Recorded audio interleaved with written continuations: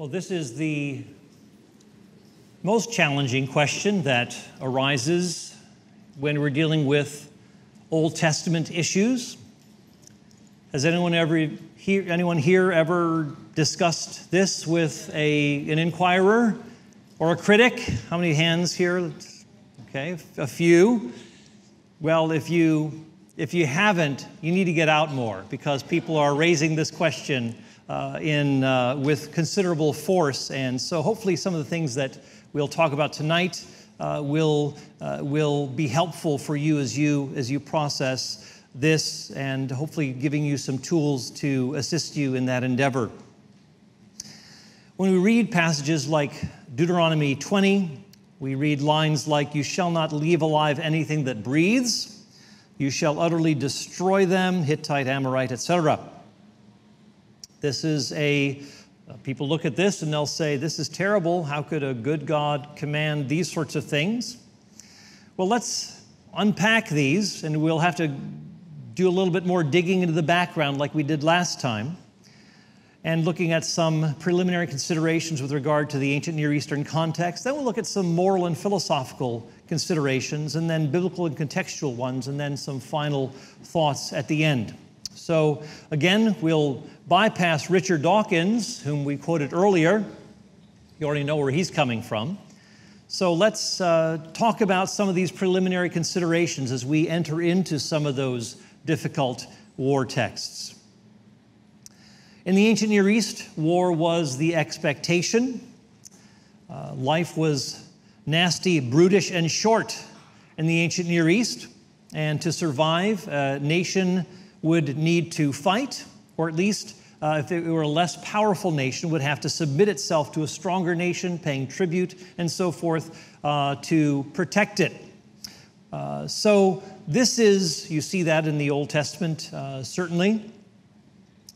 So, we have this warring to survive, but also, as we've already seen about God in the Old Testament, uh, a God who is willing to forgive, that God desires mercy over judgment. And this also has to do with the Canaanite question. Those who are enemies, uh, political, military enemies of Israel, that this is not something that God uh, delights in, but it's, one, again, the situation on the ground. So we've already talked about this. God issues commands with a heavy or grieved heart. He doesn't desire judgment and so forth. But keep this in mind that when God is talking about the Canaanites and how they're to be driven out of their land, this is already in the aftermath of God's having waited patiently for over half a millennium, including 430 years in the land of Egypt, until the Canaanites would be ripe for judgment. You remember God speaking to Abraham in Genesis 15, saying that God was going to wait until the sin of the Amorites, one of the Canaanite peoples, was, fulfill, was filled up, had become ripened for judgment. So this is a patient wait. This is not something that is a, a we're not talking about a, a trigger happy sort of scenario here. This is something that is a slow build rather than instantaneous uh, judgment and, uh, and precipitous action. God is also interested in weeding out wickedness. Remember, we talked about the messiness of the ancient Near East. Well, the Canaanites you wouldn't want one of these living next door to you. I mean, they engaged in incest, ritual prostitution, infant sacrifice, bestiality, actions that would have been considered criminal in any civilized society. So, this is, uh, again, very serious. It's not as though, oh, the Canaanites have tattoos and we don't, or the Canaanites eat shrimp and we don't. Uh, no, it's something far more serious than that. But keep in mind that Israel couldn't enter the land that God had promised until the time was right. So there would have to be this, this taking of the land or entering the land simultaneous with their ripeness of judgment. And again, this is part of paving the way, part of salvation history, paving the way for the coming of the Messiah into the world through the nation of Israel. But God also reminded the Israelites that they were not some special people, morally superior, God reminded them that they were a stubborn and rebellious people and that God would vomit them out of the land if they imitated the actions of the Canaanites. And indeed, that would take place with the Assyrians and then the, the Babylonians uh, in, the, in those two uh, exiles. Now, remember Richard Dawkins talking about this racist deity? Well, that's not the God of the Old Testament. The command that God gave against the Canaanites had nothing to do with ethnicity or tribalism. Notice this text from Genesis 15, where God tells Abraham, who's making a covenant with Abraham, says that this land that was going to be given to his offspring would be the land of the Kenites, the Kenizzites, the Hittites, the Amorites, the Canaanites, and the Jebusites. But these people were not God's enemies by virtue of the tribe to which they belonged. It was because of their wickedness. So, Moses' father in law was called the Kenite. Caleb, Joshua's associate, was the son of Jephunneh the Kenizzite. Interesting. One of David's mighty men was Uriah the Hittite, and Ahimelech the Hittite was a trusted friend of David. David uh, bought this threshing floor from Araunah the, uh, the Jebusite, and also uh, Rahab was a Canaanite from Jericho who embraced the God of Israel.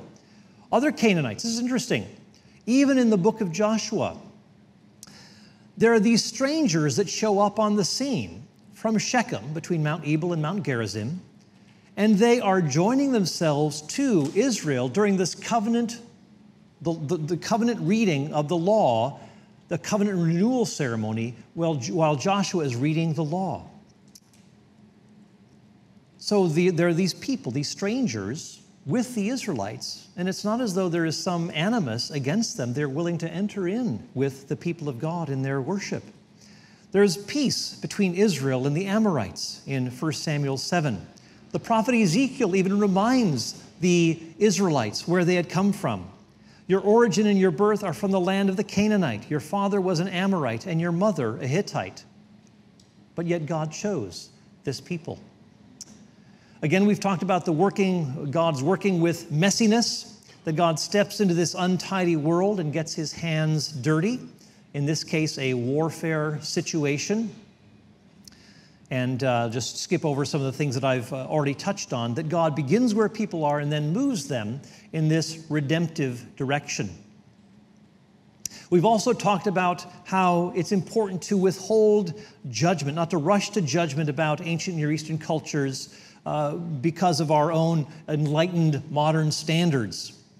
And so I've already given some of these quotations, so I'll just bypass them and, uh, and move on to the next portion the moral and philosophical considerations. So, we've looked a little bit of the background, the ancient Near East, and, and some of the contextual issues that bring us to some of these moral and philosophical considerations. Now, some of these might be straightforward, others might be a little. You might want to. You might think, "Oh, I don't know about that." But let's. But let's uh, we'll we'll take one, things one step at a time, and even during the Q and A, you can uh, you can come back with your questions on some of these uh, sticky issues. Let's talk about the depravity of the gods of the Canaanites. The Canaanites engaged in gross immorality, and this reflected the very behavior of their own deities. The sexual practices of the Canaanite deities involved bestiality, where we have Baal or Baal um, having uh, sex with a heifer and, uh, and uh, this heifer bears a boy, Baal raping his sister uh, while she was in the form of a calf. That, uh, that we see uh, Baal have, you know, and his sister Anat having sexual relations. El, the father of Baal, encouraging him to, uh, to have sex with his, uh, with his, with his mother, uh, Asherah, who had tried to seduce her son. And, uh, and so El, the father, says, do so, you know, engage in sexual relations with her to humiliate her, which he did. And on and on it goes. I mean, even the god El in Ugaritic text is a poor weakling, a coward who abandons justice to save his skin. Uh, the contempt of the goddesses. One text depicts El as a drunkard splashing in his excrement and his urine after a banquet. And these are the gods of the Canaanite pantheon.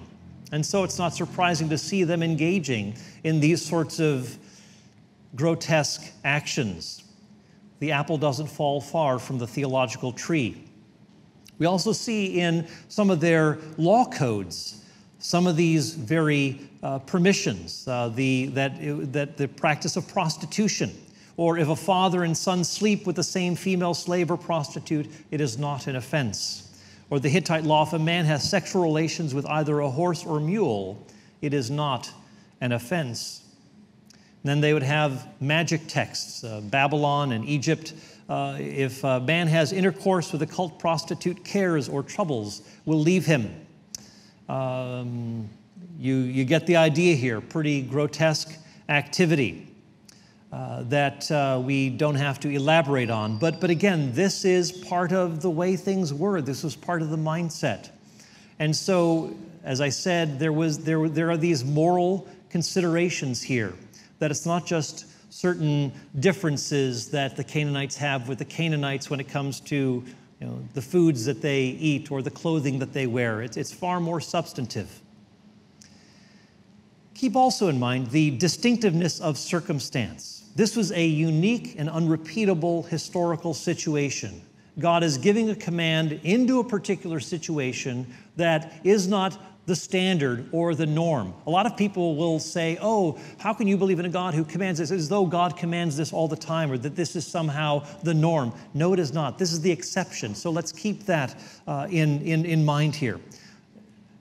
God told Abraham to take, uh, to leave the home, the place where he had been born and to go to a land that he would show him. We don't say, oh, therefore God commands all all his people to do this sort of thing, to pick up and leave their home country and to go to another land.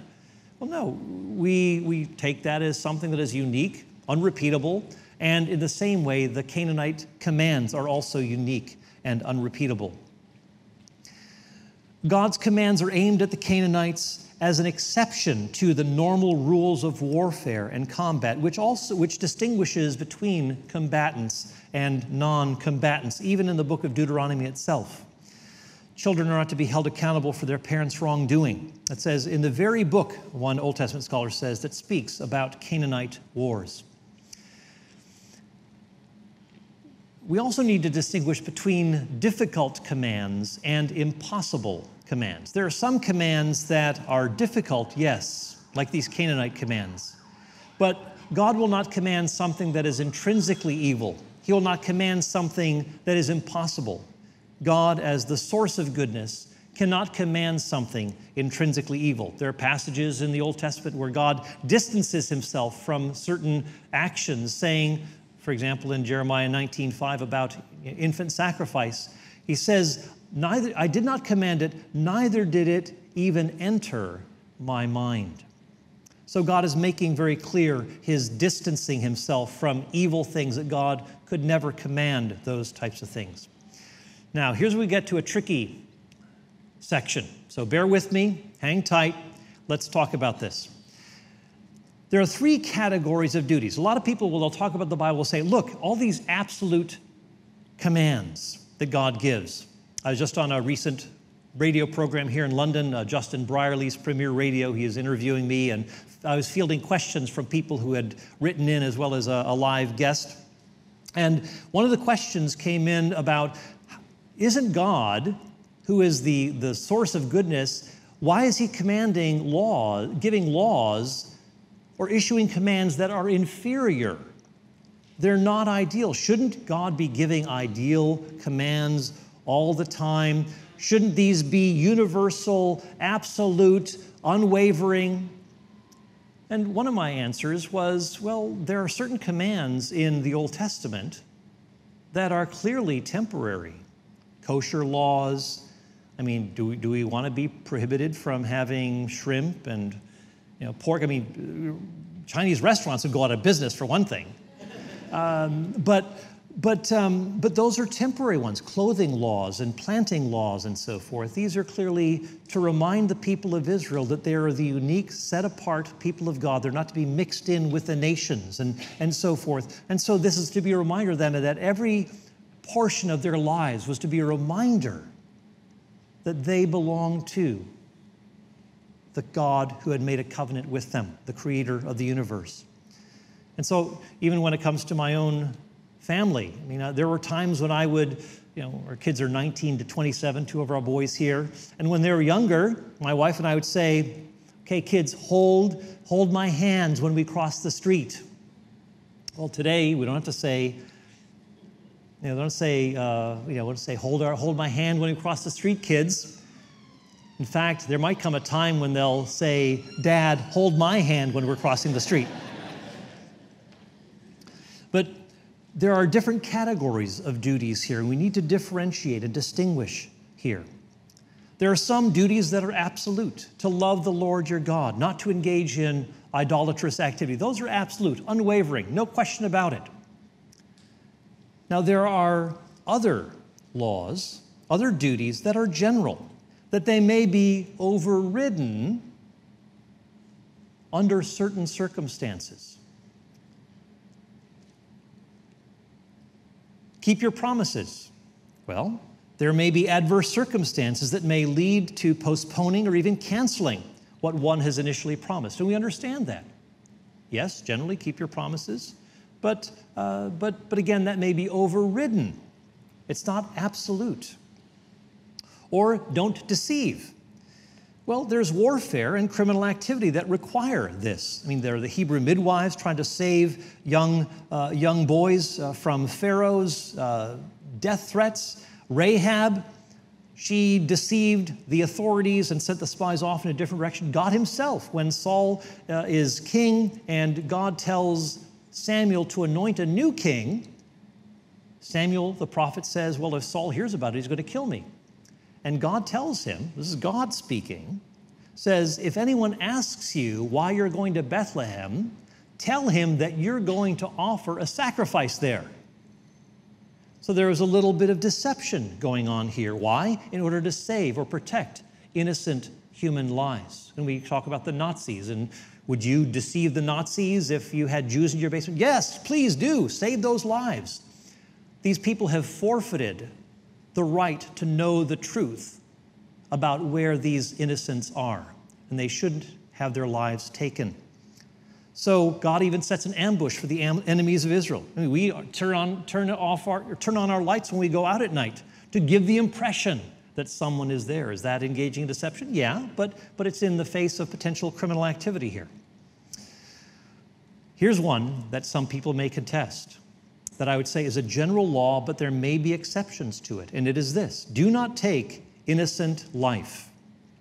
Do not take innocent human life. Generally, this is forbidden. You know, do not murder and so forth.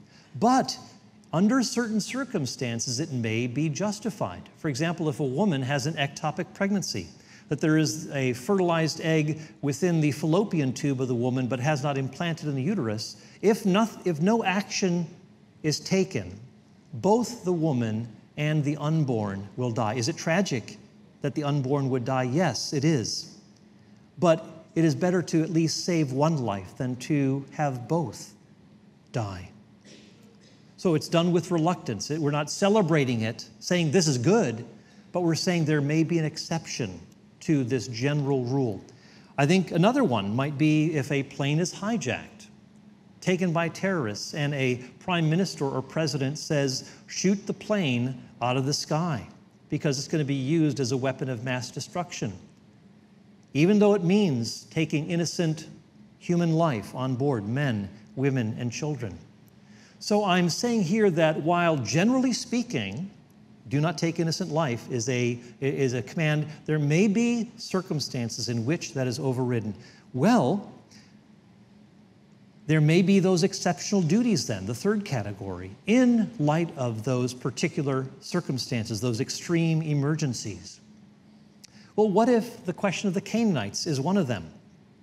What if this is another situation where, if there is innocent human life taken, we'll unpack some of these things, but if there happens to be innocent life that is taken, then this would be because God has an overriding reason for commanding it.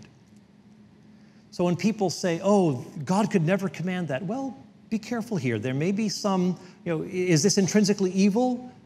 Not so, according to even these exceptions that philosophers and ethicists will readily recognize.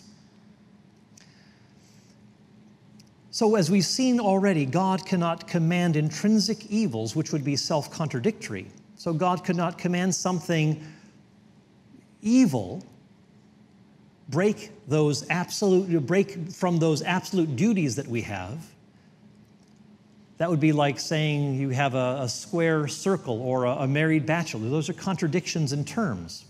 And so it would be impossible for God to do that. But some people will say God couldn't command killing the Canaanites because he's necessarily good. Let's talk about some of these objections.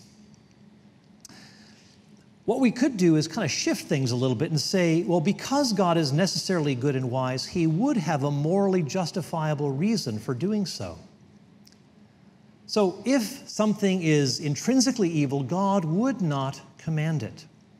So, but if God has commanded this, maybe He has overriding or morally justifiable reasons for doing so.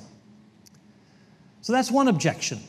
Here's another objection that people will throw out. What if a terrorist claims that God told him to blow up a bus full of children? Well, of course, just because a person claims that God told him so, doesn't mean that God actually did tell him so. Uh, Jesus talks about people doing all sorts of things in the name of God, but being deceived, being misguided. An act would be obligatory only if God truly commanded it, not if one imagines that God commanded it. So there's a distinction that we need to be making here. Furthermore, we can ask other questions. If this person is saying, God told me to do that, well, we have to ask the question is this thing that he believes that God commanded him coming from a rational, fully informed, loving, just being? And we can ask this question too What are the credentials of this person making the claim? I mean, anyone could make a claim, but why take your claim seriously? As we look at the scriptures, we see that when Moses is making these sorts of giving these sorts of commands or Joshua, it's accompanied by all manner of signs and wonders. Does this terrorist have those kinds of signs and wonders to accompany that claim that God told him to blow up a bus full of children? Uh, no. What about this person's prophetic credentials? Does this person have any any inside track with God? Does this does God somehow give a stamp of approval in some way, like he did with Moses and others?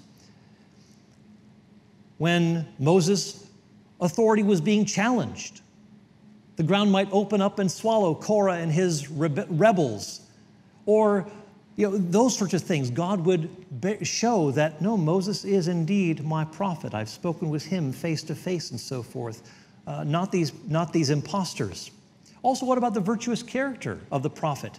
Jesus said, You'll know these prophets, true or false, by their fruits. Is this person, you know, is this person have a track record of blowing up buses full of children? Well, that's not the kind of that's not the kind of person we're talking about. We, we, we need to have a person who is a virtuous character. There may be a certain uh, you know, uh, exception in, in that person's action, but if this characterizes the entirety of his life, uh, there's a problem. So, given the absence of such reasons, we have good reason to think that God didn't command blowing up that bus. Another objection How would you like it if another nation invaded your own nation?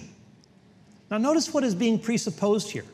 Now, you know, again, how would you like you know, the Israelites going to the land of the Canaanites? How would you like it if some nation just invaded yours? Well, keep in mind the uniqueness of the situation. This question presupposes that Israel is just like any other nation. It assumes that God didn't issue commands to drive out the Canaanites, that God didn't reinforce these commands with signs and wonders. And so to treat Israel like any other nation basically removes the guts from the biblical story. It's sort of like removing Gandalf from the Lord of the Rings. You just don't have a coherent story if you take Gandalf out of it. So if you take a God who commands, a God who, uh, who performs signs and wonders, who leads the people out of Egypt through the Red Sea and provides for them in the wilderness and so forth, you know, all of these things, if you remove that, then okay, yeah, you've got a nation like any other nation. But that's precisely the point. You can't, you can't let the story have its integrity and then remove all of these special elements from it. If you're going to protest, at least acknowledge that there is a God who is involved here, or at least allow for that for the story to remain intact rather than just simply gutting it from all of these essential elements that indeed make this unique. Also, when we look at the New Testament, we see that the, you know, that, that Paul and Stephen both, and the author of Hebrews, recognize that these sorts of things had taken place under the command of God. So it would negate what the New Testament affirms about these realities as well. Now, in the time that we have remaining, let's take a look at some of these biblical and contextual considerations. I think this is probably what many of you have been waiting for, but we wanted to set something of a context here for us to embark now on these specific texts and uh, considerations. So, as we, as we, said, first of all, there are extraordinary signs that accompany the, uh, the Israelites as they go out of Egypt into the wilderness. And what's, what's interesting is that the Canaanites knew very well about this God of the Israelites. And of course, could have fled. I mean, can you imagine? Here is this God, who is leading the Israelites with a pillar of cloud by day and a fire by night over their camp.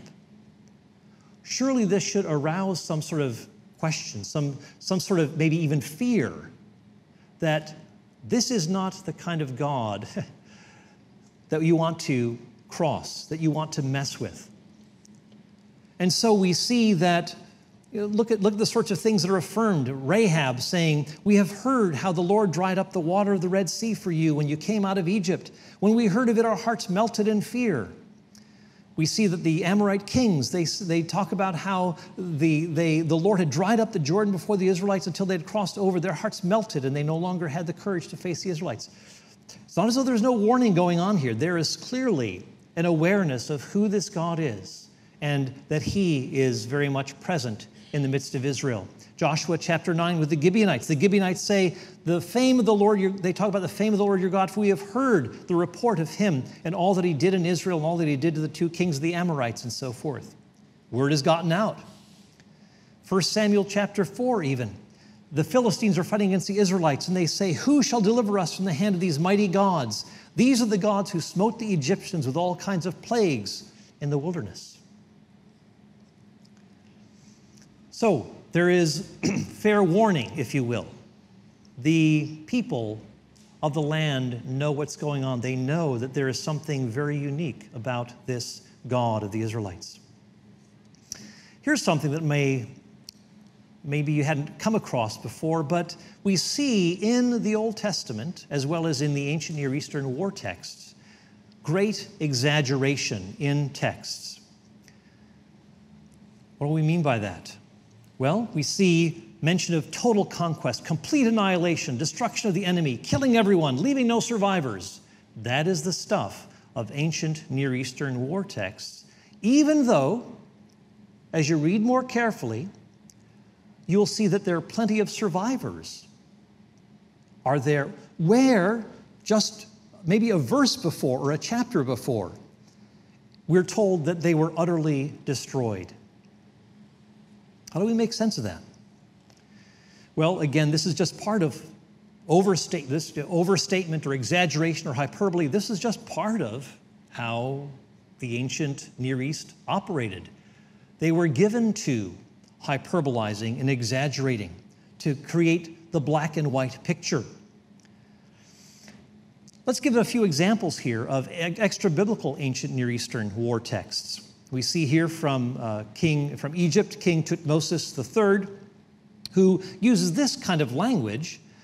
He says, The great army of Mitanni is overthrown in the twinkling of an eye. It has perished completely, as though they never existed, like the ashes. Well, the actual fact here is that the forces of Mitanni lived to fight beyond this into the 15th and 14th centuries, so it was a premature statement. Looks like total annihilation. But that certainly wasn't the picture. the bulletin of Ramses II. Uh, Egypt had just uh, had a, a, less than decisive victory, some might even consider it a stalemate at Kadesh against Syria. But notice this sweeping language. Millions of foreigners, he regarded them as chaff. He slew the entire force, as well as all the chiefs of all the countries that had come with him. His majesty slaughtered and slew them in their places, and his majesty was alone, none other with him. Kind of reminds me of recent news here in the UK in football when the Doncaster Rovers lost to the Plymouth Argyle back in March, but yet the coach of the losing team said, We've annihilated them today, absolutely annihilated them. The team in second, and we should have won by three or four. I mean, one, notice that even though he lost, he's using this sort of language. Secondly, so hyperbole, of course, not literally annihilated them. But it was a less than decisive victory here. I mean, in fact, it wasn't a victory at all, kind of like what we just saw in the ancient Near East. So we have a kind of set understanding of that kind of language. No one says, oh, how could you talk that way? You annihilated the opponents. Well, people understand that they don't mean literal annihilation of the opponents. All right, back to the ancient Near East. uh, Pharaoh Ramses the, the, the third has this vic- victory uh, where he, where, uh, against the, the, this battle of the Delta against these invading sea peoples. Uh, and this devastated Egypt economically, leading to its decline. But yet, you know, and even Philistia would later uh, colonize eastern Egypt, but yet there is this language of we slew them, we, they were made ashes and so forth. They were made non existent, captured altogether, etc. Again, high exaggeration and a, a, a, great departure from the reality. Their seed is, you know, those who reach my frontier, their seed is not, their heart and soul are finished forever and ever, etc. In the Bible, we read about King Mesha, and there's this inscription where King Mesha writes that Israel has utterly perished for always. Hmm. Again, a premature statement. The Assyrians would take care of that uh, in one, you know, 100 years later. But now let's shift to looking at some biblical war texts. We've looked at some of these ancient Near Eastern ones and a British one uh, to see that there is this kind of language that is being used of annihilation, utter destruction, so forth. Let's actually look at the text. And what I'm urging you to do is not look kind of uh, just glance at the text. I'm saying study the text, look more closely because a lot of times you'll have just one side of the ledger being emphasized by the, by the critics. Look, total slaughter, utterly destroyed. And then, they, but they ignore all of the survivors that are there. What's that about? So let's talk about the Canaanites. Interestingly, we read of how Joshua, especially in chapter 11, Joshua obeyed all that Moses commanded. He did all that Moses commanded. But yet we read in the book of Joshua, even at the end of the book of Joshua, that there are many other nations that needed to be addressed and needed to be driven out. But if that's the case, then what Joshua was doing, if that's called completely following what Moses has commanded, maybe Moses had in mind this kind of exaggeration. But again, uh, keep in mind that if you talk about utter destruction, and you only leave it there, you're not being fair to the text. You need to look at the survivors as well and see how abundant they are. And if you take that, if you take both of those literally, they would cancel each other out, they'd contradict each other. so here are a few texts. Joshua, we read that they left no one who breathed, just as the Lord had commanded Moses, etc., etc. Here's, here we have Joshua 11. The Anakites in Hebron were cut off, they were utterly destroyed. there are no Anakim left in the land. Four chapters later, Caleb drove out the Anakites from Hebron, that same city. Joshua 10. Joshua and the Israelites had finished slaying them with a very great slaughter until they were destroyed. Okay, end of story. Oh, no, it actually continues. And verse, the same verse, it says, And the, the survivors who remained of them had entered the fortified cities. Not just a trickle, but it sounds like a lot of them are going into various cities here. Joshua 10, in the city of Debir, the town of Debir, all were utterly destroyed. Well, Joshua 11 Joshua utterly destroyed the Anakites in Debir. Sounds like there's some, uh, some, something going on here. Judges 1 8. Get this. Then the sons, same chapter here, the sons of Judah fought against Jerusalem and captured it and struck it with the edge of the sword and set the city on fire. Okay, pretty much done, right? Well, Judges 1 21 same chapter, a few verses later, says, But the Benjamites did not drive out the Jebusites who lived in Jerusalem. So the Jebusites have lived with them in Jerusalem to this day. At the time of writing, there they are. Hmm. Joshua 11. So Joshua took the whole land according to all that the Lord had spoken to Moses, and Joshua gave it for inheritance to Israel according to their divisions by the tribes. Thus the land had rest from war. Sounds pretty positive, sounds pretty good. Well, you get to Judges chapter 2. God says, I will no longer drive out before them any of the nations which Joshua left when he died. And the Lord allowed those nations to remain, not driving them out quickly, and he did not give them into the hand of Joshua. What? If you understand the nature of ancient Near Eastern war texts, this isn't a problem. But if you're going to say, oh, no, there, there can't be any of this sort of thing. That, you, you can't have exaggerations in the Bible. Well, then you're going to have some real problems to deal with.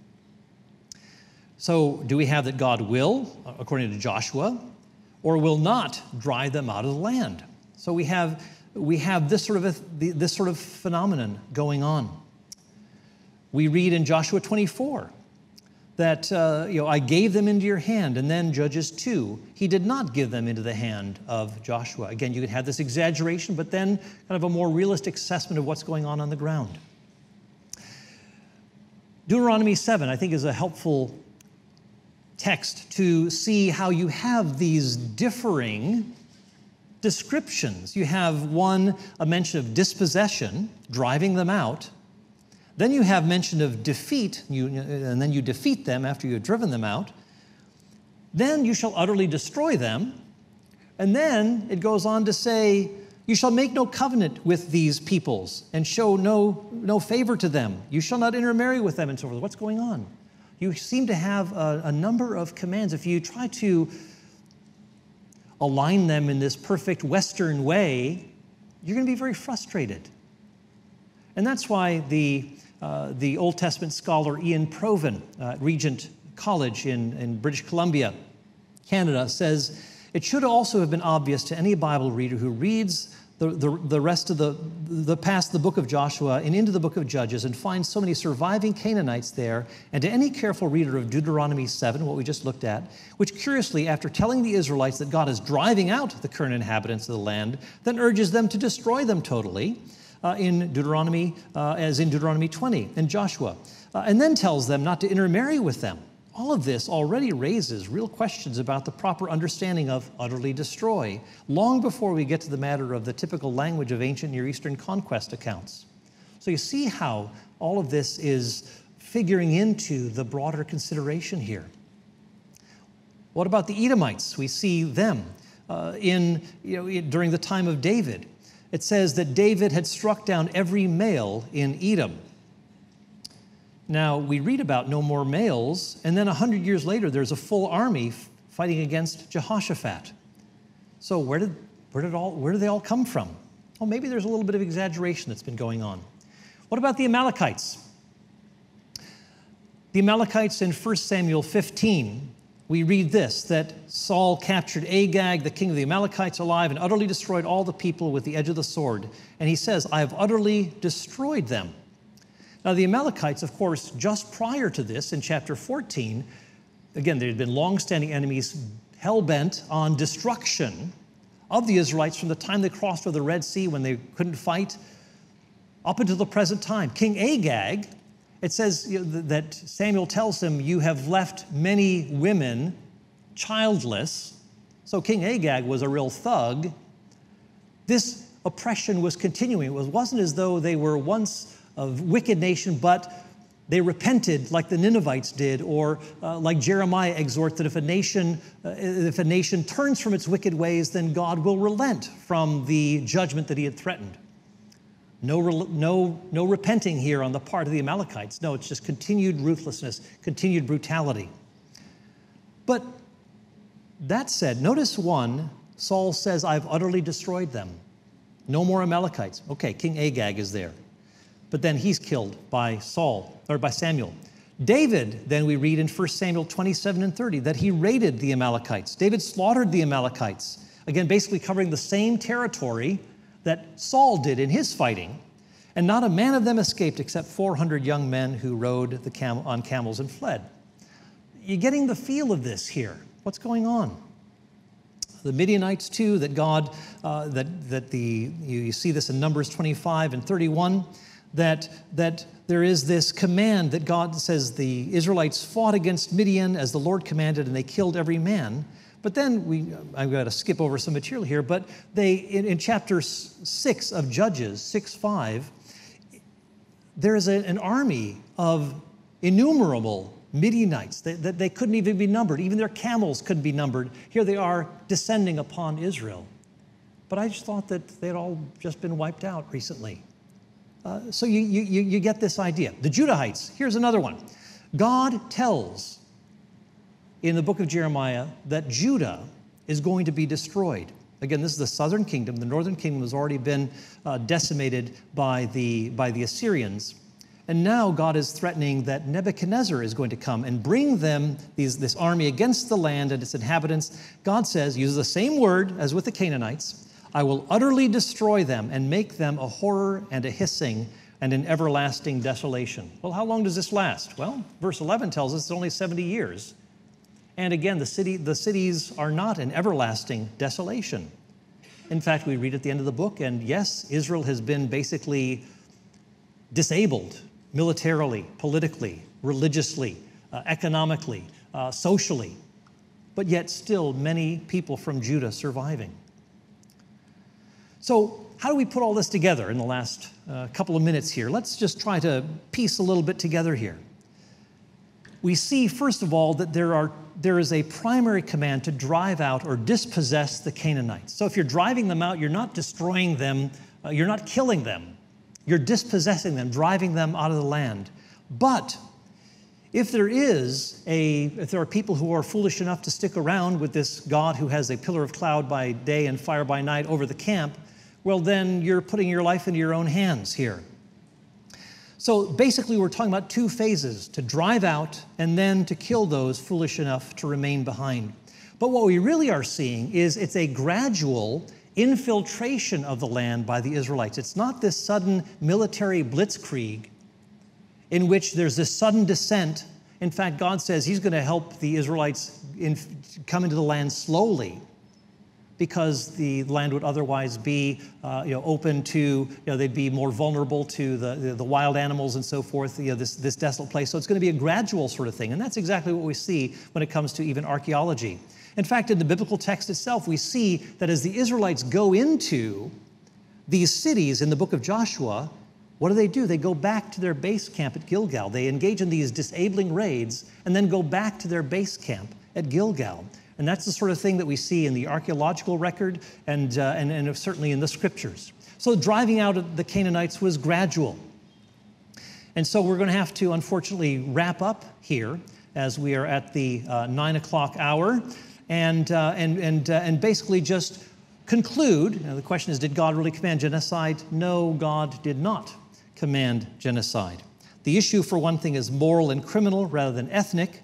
Uh, the biblical language also strongly emphasizes driving out and dispossessing, and that this comes in two phases, as, as we've noted, and that the Canaanites indeed had ample warning and clear public displays of divine power that they themselves articulated and also, we, as we look at the ancient Near East, we see the language of hyperbole, of exaggeration. Some people say, oh, how could, isn't this deceptive that God used this language of hyperbole or exaggeration? Well, we basically you say, take the literature according to the way that the author intended it. If he intended for it to be symbolic, like the book of Revelation, take it as symbolic. If it's to be straightforward historical narrative, take it as straightforward historical narrative. But we read that there is plenty in Scripture where the trees of the field clap their hands in the book of Isaiah. Well, should we take that literally? Be careful about getting hung up on that word, taking the Bible literally. There are some things that we should take literally, others that we should take symbolically or figuratively. But we should always take the Bible literarily, the way that the author intended for it to be understood. And sometimes it's going to mean doing a bit more homework, doing a bit more digging into the text, rather than maybe having this word that we stand by but really doesn't actually fit with how we ought to be reading the scriptures.